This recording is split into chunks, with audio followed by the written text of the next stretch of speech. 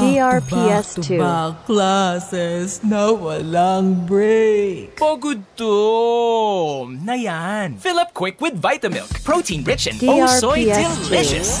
Yes! A+! Feels good talaga. Vitamilk.